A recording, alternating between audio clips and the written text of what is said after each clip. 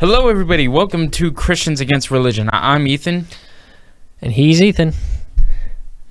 and I am done with Steve I thought- already. I thought you were to say, and I am Ethan. that That's that, it. that would have been good. no, I'm Steve. He's Ethan. Yep. Uh, And we're here today with another reaction video. Now, me and Steve take turns with uh, having reaction videos. So in this one, it's my turn. Uh, this is stuff that you may not find funny, but me and my mom sit around and watch this for pure entertainment. So uh, we'll see what you think of it. And Steve hasn't seen this video, but I should pause definitely this have. Here, 'cause- Pause it again. yeah, yeah. Well, here, pause it. so, um, okay. So this is a video called "Crazy White People" or "Crazy White Church People." dot FLV. And I just skipped the whole church. And it's just crazy white, white people. Um, so yeah, we'll see what we see. I've never seen this before. Okay. Foolish virgins then will find they have here been left behind with their empty vessels and the lamps for thee. Crazy white people.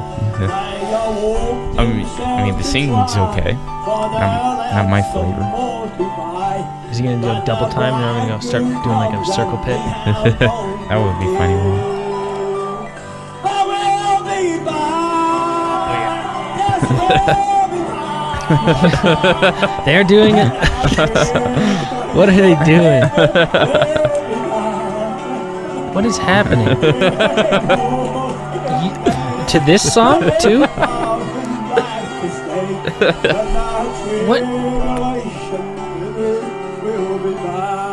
Yeah, oh, that was a nice tuck and roll. You see that? That's great. Into the baptism pool, too. Guy's good. Oh, he fell into the baptism pool for sure. Yo, what the heck? Uh, what I love about this is that the singers tried not to laugh. Oh, dude. Freaking hit hit with the coat from the crowd. Sometimes I miss being Pentecostal just for this reason. You know what I wonder? What what do these guys do after this uh, when they go to uh, I don't know Denny's or something? I know. After Are they they, just, are they just normal made a people? mess of a place. Yeah, What do they do for jobs?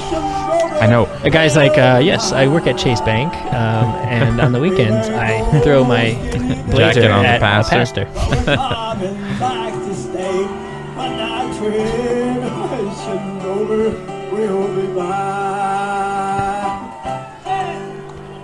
Okay, I have one major gripe with this.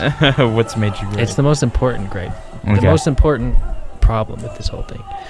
That song sucks, dude. These people are acting like it's the next greatest thing. That song is terrible.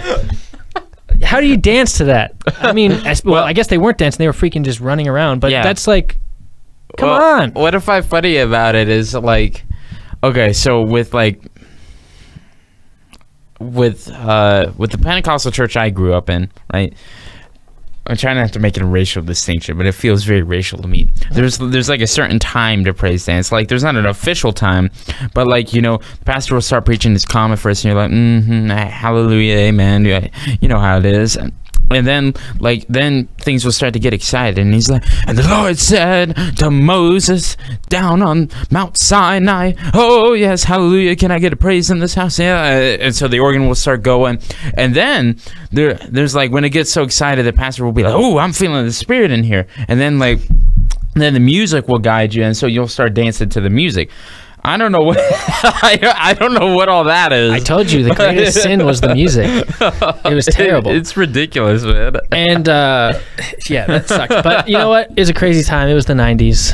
Uh, Well, there's I don't- churches I don't know if like it was the 90s. Still, might have though, been man. I mean, in, in terms of a biblical aspect, I don't find much like, and, and this is just my opinion. I know if you're Pentecostal, you're you're just as much of a brother as anyone else is, right? But I don't find much biblical support for uh, all this hooping and hollering and all that. The the one that's always brought up is the story that David danced out of his clothes in joy. Uh, that that's always what they go to, man. But you never read about it in the New Testament, and I mean, there's a lot of things that David did that we don't use as a model, right? And so, uh, but in that case, you know, it, it is a bit different. I mean, David, I actually don't really know the context of the story, but it wasn't in church. You know, it was over God doing something, and he danced out of his clothes of joy, and that's perfectly fine if that's Well- the way you want to worship, though. Look, I don't have a problem with you guys running around and dancing in church. Uh, just don't uh, get mad at me when I laugh at you.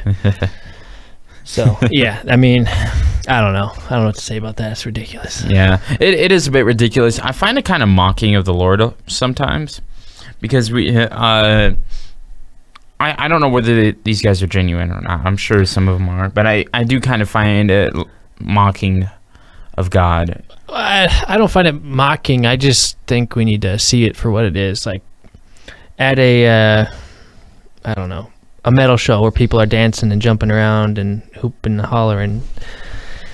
I, I'm sure that's how the, these people running around felt. They felt the energy and Yeah, you know, so whatever. But Yeah. uh, uh, I don't know.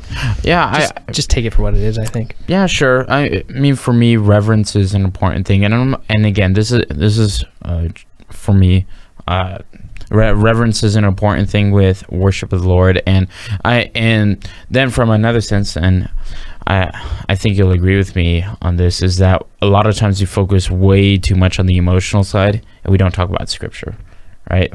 Uh, or when we talk about scripture, we apply it in in a help me context. Like uh, people always pr- uh, promote. Uh, I believe it's Micah that says, um, uh, "Bring those tithes in the storehouse, so that there may be food in my house," and things like uh, I will multiply you a thousand times what you give me. Right. Uh, so we use scripture out of context. Or Jeremiah twenty nine eleven absolutely bothers me.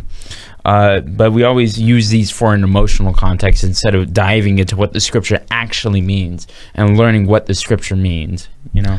Oh yeah, and that's why I said just take it for what it is. Yeah. It's no different than people running around dancing at a metal show or Yep. uh, uh, uh, whatever. You Yep. know, it's just I don't know. Yep. Humans get excited, You're you're right. and that's right. what this is. Um, not a, uh, in my opinion, uh, sign of uh, Jesus' second coming with all the dancing and stuff. I don't know.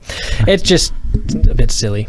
So, Mm-hmm. eh, I, I'm not going to condemn them for it, but yeah. it's just I don't know.